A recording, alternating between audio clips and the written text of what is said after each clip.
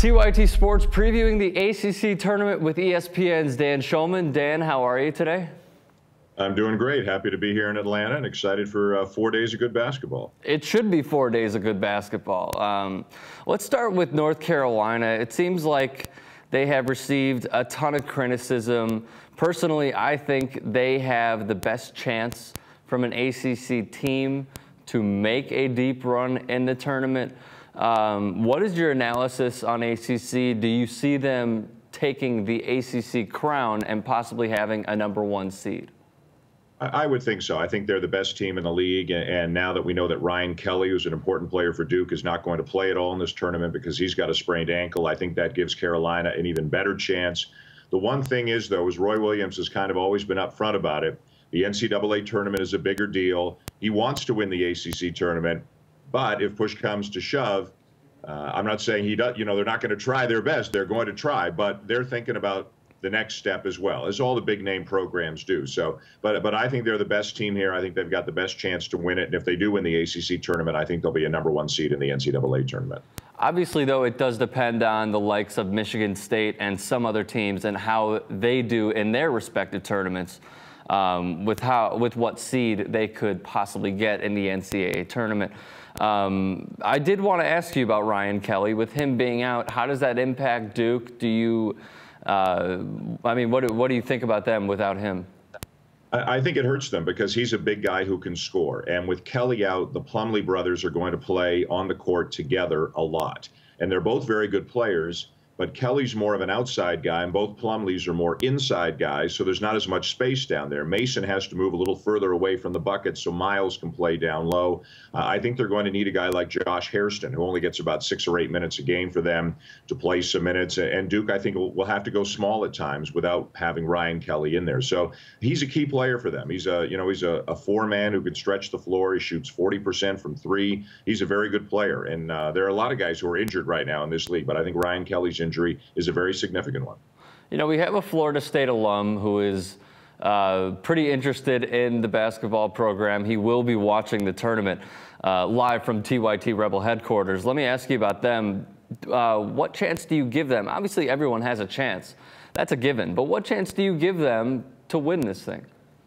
Well, I, I, think they're a threat. I mean, as your friend knows, they beat North Carolina by 33 points earlier this season. They also beat Duke at Duke this year. So those are two great wins for Florida State, who come into this tournament clearly as the biggest threat to the North Carolina Duke supremacy that we've seen for so many years in the ACC. Um, the Leonard Hamilton's team is well coached. They're great defensively. They're very experienced and they're deep. They've got a lot going for them. The question for them is can they put the ball in the basket? Sometimes they just have droughts where they can't score very well. But uh, I think they're hungry. I think they want respect. I think they want notoriety. I think they want attention. And I think they want this tournament very badly. And, and uh, they're going to, I think they're going to play with a lot of confidence. Assuming they win their quarterfinal game, they would likely play Duke in the semifinal. And again, they've won at Duke this year. So I think Florida State's got a shot. Let's do a little uh, back and forth hypothetical here. And just a few more questions for you. Uh, if they win their quarterfinal and lose to Duke, what seed do you think they would have? Uh, I think Florida State, if they win their quarterfinal and lose to Duke, probably would be somewhere around a five or, or a six seed, somewhere like that. They, have had a solid season, and I mean they're solidly in the tournament. That's not a, that's not uh, up for debate. But I think Florida State would be in the five or six range, and if they can go deeper into the ACC tournament, they might be able to get up as high as a four. Okay, wanted to ask you about that as well. Um, tell me about the bubble teams. I mean, Miami is certainly on there. Uh, Virginia arguably can easily be on that list as well. Um, do you see either of them getting in, and how do you think they will play out in the tournament?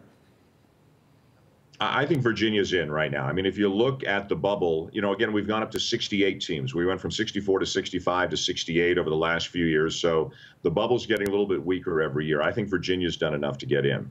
Uh, I think the two teams that are on the bubble in this tournament are Miami, as you mentioned, and North Carolina State.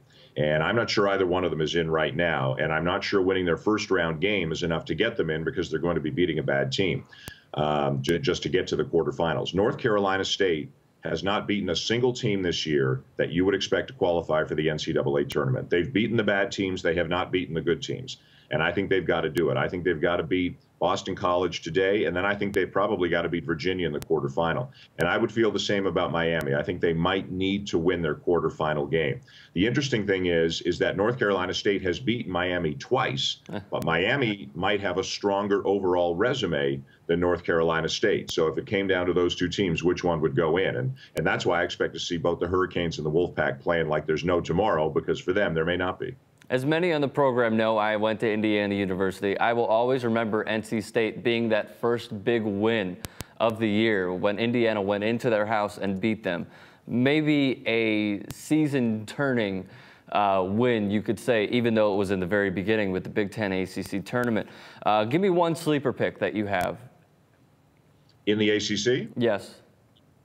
Uh, I would, boy, boy, um, I would say Miami. I, I, I, think Miami's hungry. I think they're talented. I think they've got a pretty good draw as the sixth seed. They can avoid North Carolina. They're on the other side of the bracket. So, um, given their their talent and their experience and what they're playing for right now, I would say Miami's a team that could probably scare some people and win a couple of games here. Last question for you, Dan. You know, it seems to be that Duke and Carolina will have that bitter rivalry once again in the final of the ACC tournament.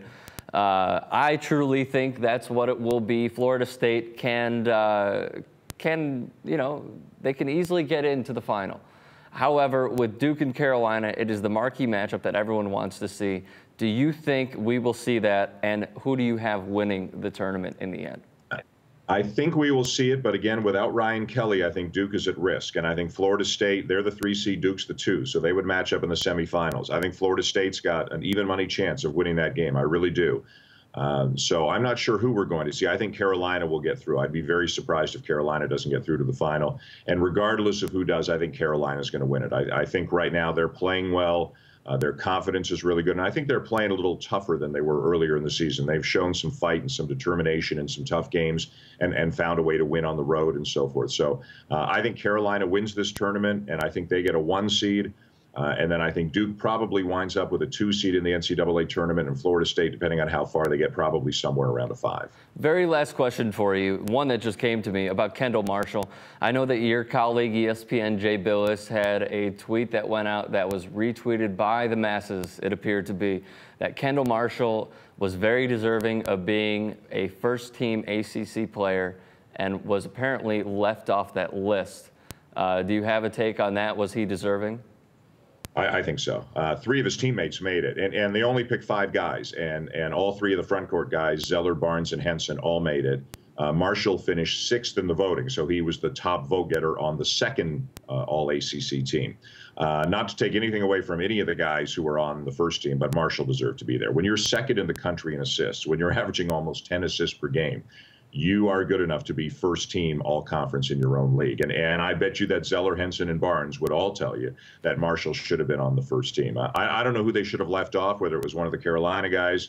The other two were Austin Rivers from Duke and then Mike Scott from Virginia. My, my hunch would be to leave off Scott from Virginia, put him on the second team, as good a player as he is. I, I thought Kendall Marshall was uh, was terrific, was sensational this year. I mean, I mean, having seen a lot of their games and done a lot of their games, 10 assists per game is, is a ridiculous total uh, at, at, the college level. And, and, I certainly think he should have been there. I think some people just thought it didn't look good to have four Carolina guys on the on the top team, maybe, but but I think Marshall should have been there. I completely agree with you. He had he is a true floor general in every every sense of the term. Uh, and I, I, truly believe that he'll make it at the next level, but hey, that's just me. Uh, Dan Shulman of ESPN, thank you so much for the time as always. I really, really appreciate it. All right, Rick, thanks. Good luck to your Hoosiers.